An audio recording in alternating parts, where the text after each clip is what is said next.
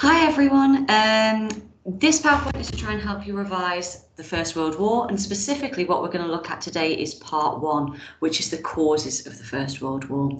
So I've put on the screen in front of you, you should be able to see our specification here for the different things that we need to know for this aspect of the course.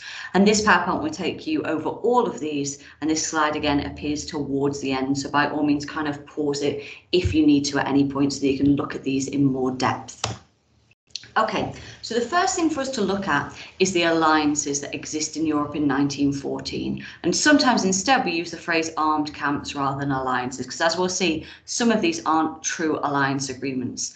So the first thing is to take a moment and see if you can even remember the names of the agreements that form these armed camps. I'll give you a moment, see if you can think of anything.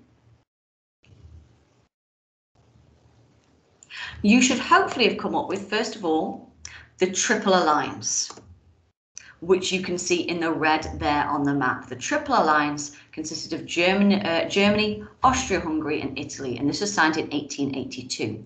This alliance had been initiated by Germany because they were very afraid that the French would attack them as repercussions for the Franco-Prussian War. So as a result, they had gathered some allies together in case they faced attack.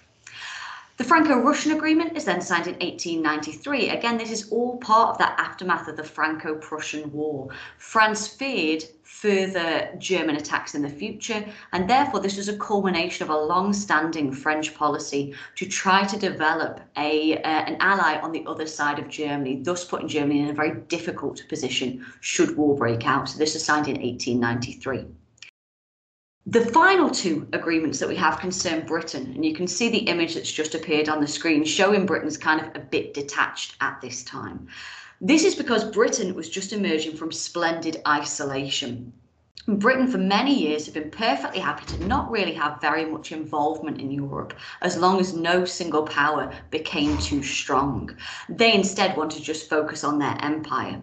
The agreements that assigned the two bottom blue bullet points uh, therefore show them drawing closer to other countries, but they stop short of forming a proper alliance where they will agree to actually fight with another country should a war break out. So the Entente Cordiale that's signed in 1903-1904, this is Britain's agreement with France, but it concerns reforms in the colonies and was essentially further to them carving up bits of North Africa between them. France agreed that it wouldn't object to Britain making reforms in Egypt, and Britain agreed that France would continue to have increased influence over Morocco. The Anglo-Russian agreement is very similar and uh, was between England and Russia this time, Britain and Russia this time, and concerned uh, reforms such as Britain's reforms in Persia. But it does show them drawing closer to these other European countries, even though they're not strict alliance agreements. German foreign policy is seen as one of the reasons for this war breaking out. And there are two key phrases that we associate with German foreign policy at this time. The first one of these is Weltpolitik. This translated as world policy, and it meant that the Kaiser wanted to be treated as if Germany is important in world affairs. We'll see them enact this policy in places like Morocco later on. The other policy is a place in the sun. The Kaiser wanted to develop his own empire, and this caused lots of tensions, especially with countries like Britain leading up to the First World War. There are then several crises that we study that bring this war even closer. The first of these concerns Morocco. Now, we've just mentioned Morocco when it came to those uh, agreements that took place between the major powers before the First World War. The Moroccan crisis in 1905 concerned this French influence over Morocco and Germany's desire to challenge this. So this began when Germany opposed the French attempts to control Morocco.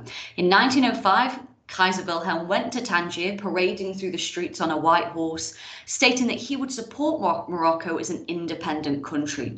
Note that bit really carefully. This is a very common error that I see where people start saying, oh, Germany wanted Morocco as part of its empire. The Kaiser realized he's not going to be able to achieve this, but he does want Weltpolitik to happen. So he believes that Germany should be consulted, and this is him getting involved in international relations as a result.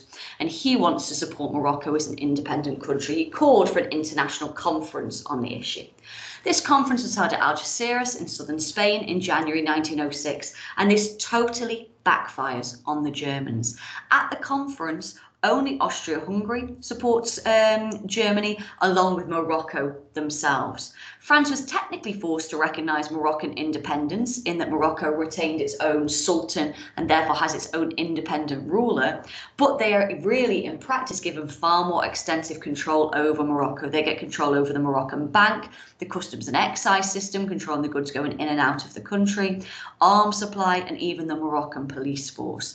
So in reality, the French end up gaining increased control, and this has really backfired on Germany. And this crisis leaves important after effects. Britain now began secret military talks with France. Again, don't take this too far. We don't sign a proper alliance agreement with them. But France is increasingly becoming more confident of British support at this time. I suppose increasingly we have more in common with the French in that we are both increasingly concerned about this potential threat from Germany. Britain began to also take more of an interest in European affairs. An Anglo-Russian agreement that we mentioned right at the start was signed just a year later, showing how these three Entente powers really drew together over this crisis. The Bosnian crisis is our next important crisis in 1908 you can see the arrow on the screen pointing to Bosnia. Now you'll notice that Bosnia on the map is in the same colour as the Austro-Hungarian Empire. And you can see the label for the Austro-Hungarian Empire just extends totally over the image of Bosnia that we've got there. And that's because this is what happens in the Bosnian crisis, isn't it? This is Bosnia uh, being annexed by Austria-Hungary. So this was all part of the continuing impact of the collapse of the Ottoman Empire. The Ottoman Empire has long been known as the sick man of Europe. It had once extended all the way really up to Austrian territory, but increasingly the Ottoman Empire was weak and it was collapsing. And in its wake, other countries were trying to gain independence and other great powers were trying to seize some of the countries that had once been under Ottoman control. Serbia, which is on our map here, you can see it in the pink next to the Austro-Hungarian Empire, was one of um, was the leading Slav state at this time, and it wanted to unite the other Slavic states under Serbian leadership.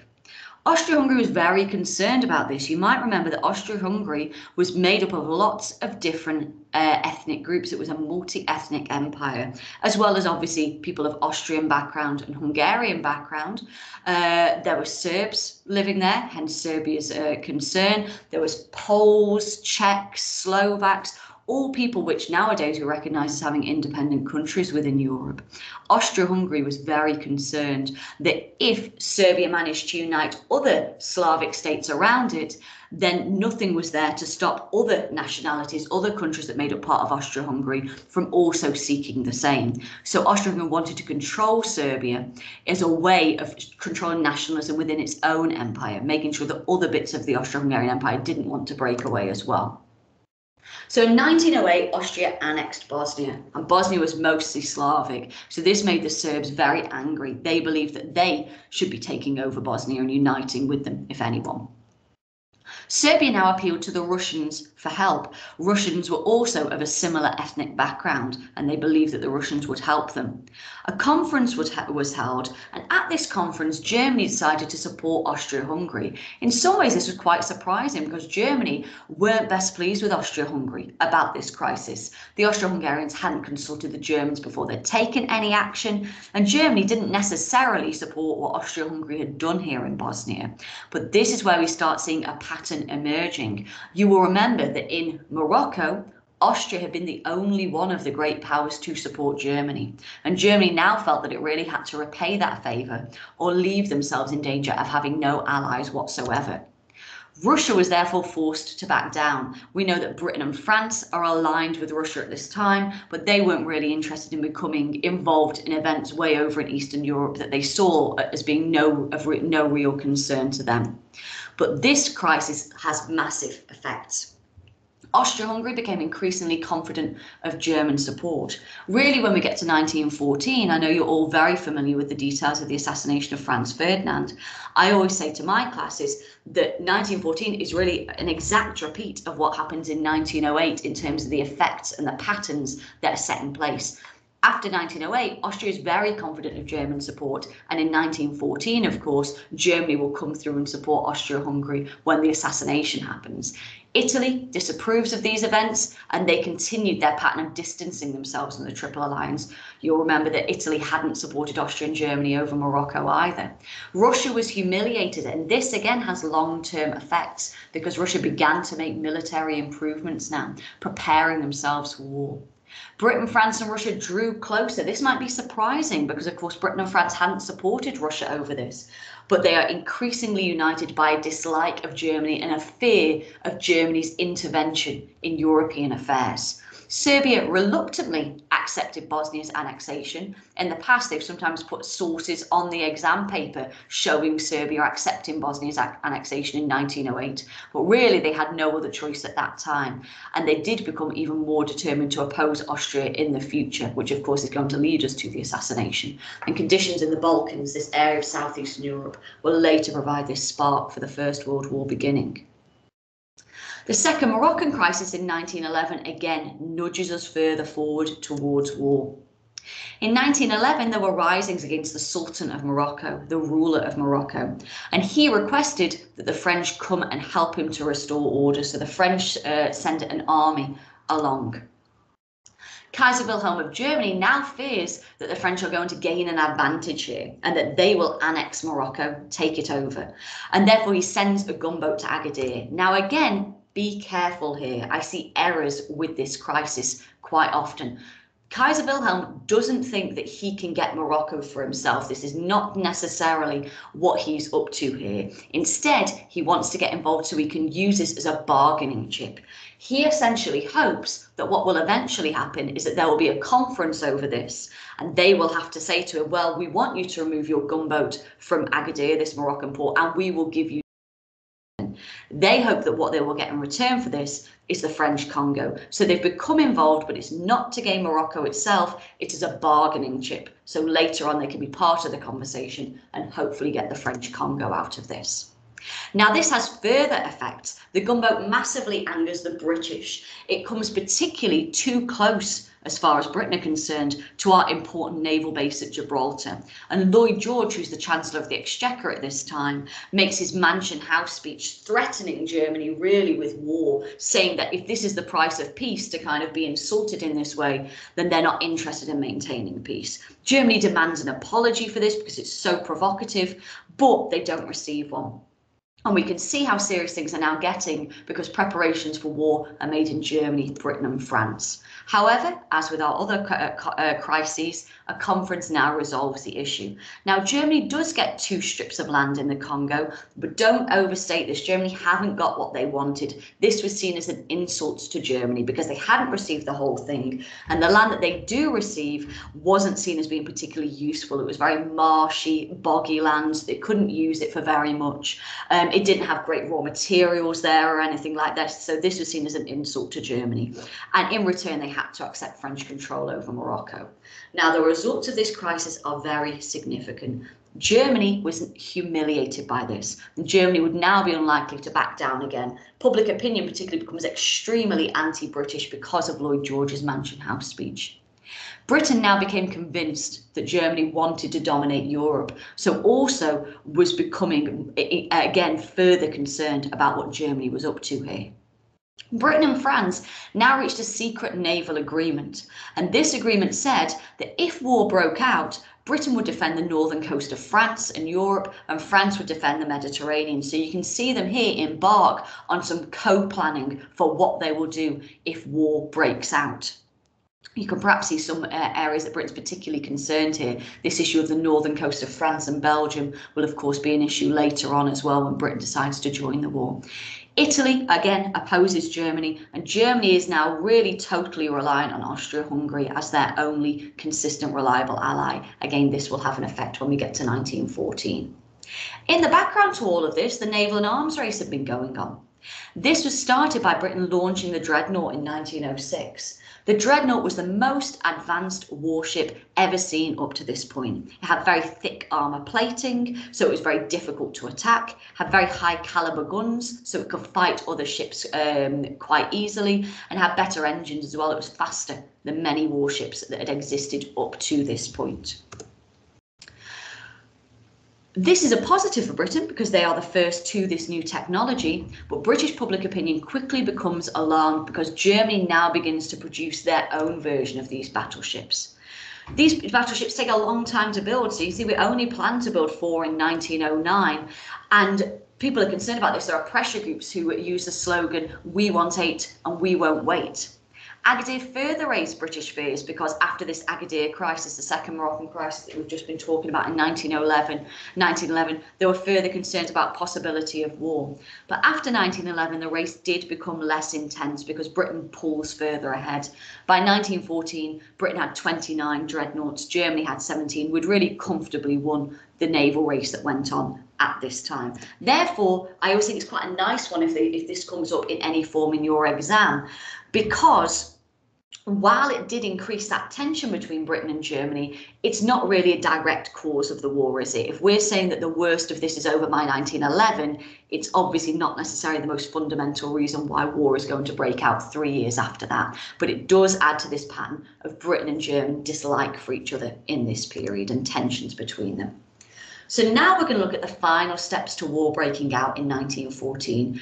And you guys, I'm sure listening, already know what's going to cause the outbreak of war in 1914. It's going to be the assassination of Franz Ferdinand. We're going to set the background to this again, though. Remember how the Bosnian crisis of 1908, 1908 had led the kind of foundations for this. Austria had annexed Bosnia in 1908. Serbia had been very angry. Russia had developed her armed forces as a result of this. And in the intervening years, Serbia had become increasingly strong as well. They had particularly been triumphant in two wars, the Balkan Wars um, uh, between 1912 and 1913, and they'd begun to expand their territory. Serbia continued to have this ambition of wanting to create a greater Serbia, and the next objective for them was Bosnia. In 1911, therefore, 10 men formed the Black Hand movement within Serbia, wanting to unite all the Serbs, these people of this similar Slavic race, and forming this greater uh, greater Serbia. By 1914, this group has 2,500 members, and of course, they will conduct this assassination at Sarajevo in 1914. So the assassination happened when Franz Ferdinand, who was heir to the Austro-Hungarian throne, he was next in line to the throne. He visited Sarajevo on the 28th of June to uh, 1914 to witness a display of army manoeuvres. Now he had been warned against visiting because this was also a Serbian national festival day, and he'd been warned that tensions were likely to be running high. Security was quite poor. There was only 120 police to cover the route that he goes on. And he also insists in travelling in an open topped car because he wanted to present a kind of open image to the people of this region. The first attempt on Franz Ferdinand's life takes place when Cabrinovic throws a grenade at the car, but you probably remember that it bounces off the back of the car and explodes without causing um, any uh, any damage to Franz Ferdinand. Uh, to Franz Ferdinand. Franz Ferdinand now reaches the town hall and he decided to abandon the tour after visiting the people who'd been wounded in the in the first assassination attempt. Um, yeah, he decided. Sorry, he decided to abandon the tour after visiting the wounded people who'd been wounded that morning in the attempt on his life. However, fatally, his driver was not told about this change in route. As Franz Ferdinand is now driving through the streets of Sarajevo, Gavrilo Princip is there. Franz Ferdinand's driver takes a wrong turn. He ends up just by chance on the same street as Gavrilo Princip. Princip fires those two shots, killing Franz Ferdinand and his wife. The consequences of this, well, to begin with, people don't think this is going to be uh, the big problem that it later becomes. Obviously, it sounds like a shocking event, and it was, but it was not uncommon uh, royal assassinations within this period. Several czars of Russia have been assassinated, other members of the Austro Hungarian royal family have been assassinated previously. Certainly, initially, no one foresees that this is going to lead to a massive war breaking out but it is seen critically by some in Austria as a chance to finally deal with Serbia, this worrying state right on its borders that's causing perhaps nationalist tensions to rise within Austria Hungary itself. The Austrians send a 10 point ultimatum to Serbia and they accept all of the points on this ultimatum but one. Serbia thinks, therefore, that this is likely to lead to further negotiation. But Austria-Hungary, now assured of German support, declares war on Serbia on the 28th of July 1914. Some alliances were now triggered by these events, so this is going to trigger some of our alliance system. Russia began to mobilize against Austria-Hungary and Germany. This is where you really see, as I've said previously, it being a repeat of what goes on in 1908. Russia hadn't been able to support Serbia over the Bosnian crisis in 1908. But remember what we've said, Russia strengthened in the years up to 1914. Now they don't want to be humiliated again. They're determined to support Serbia over this matter and they begin to mobilize against Austria-Hungary and Germany on the 30th of July. Germany declared war on Russia on the 1st of August after they didn't respond to an ultimatum to stop mobilising. But at this point, war was contained to Eastern Europe. What's going to spread the war to the West is the Schlieffen Plan.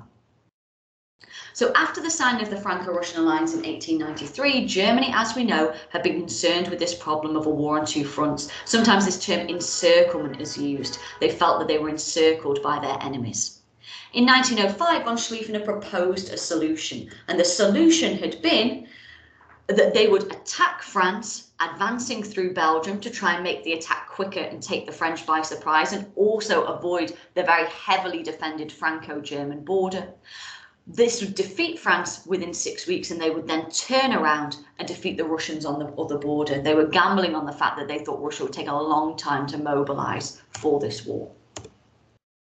This was now going to spread war to the west because Russian mobilization put the Schlieffen Plan in jeopardy because, of course, the Germans had planned to fight the French first. The quicker the Russians continued to mobilize, the more the Schlieffen Plan was beginning to, to be in danger.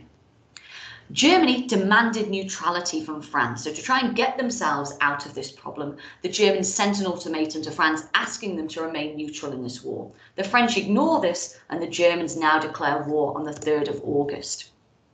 Britain was primarily concerned of the security of the northern European coast. Remember that agreement they'd signed at the end of the second Moroccan crisis. Germany now invaded Belgium on the 3rd of August and Britain declared war on the 4th. Britain claimed, of course, that it was going to war over the sanctity of treaties, the Treaty of London that it signed in 1839, saying that they will preserve the neutrality of Belgium. And they put this on all the propaganda posters as to why they've gone to war in 1914. So this leads us to the war having broken out. We've looked at the events that lead us up to war, as you can see here. So we've looked at the alliance system, we've looked at Anglo-German rivalry and some of the events that happened there, and we've looked at this final outbreak of war. I would suggest your next steps of your revision. Well, there are two more videos to watch that take us through World War One um, as a whole. So there are two more videos to watch in this World War One sequence. Of course, I'd advise that you rewatch this video as many times as you need to. Um, you can also follow this up by using your revision guide. Many of you, most of you have revision guides. There are activities there. So if it's a lot of information to take in, there are activities to try and break this down. You've of course got your printed notes as well on this topic. Um, there are full and simplified versions if you find those easier, but then try and develop this on further as well. One of the least effective ways to revise is just by reading and reading and reading things until, until you're fed up of it. I would advise perhaps to make your own revision notes on this. I see lots of people do this. Use using like little index cards, those little small cards. So for instance, you could make your own kind of cards on Morocco and Bosnia and the second Moroccan crisis, for instance, and you can use these to test yourself or get someone else to test you.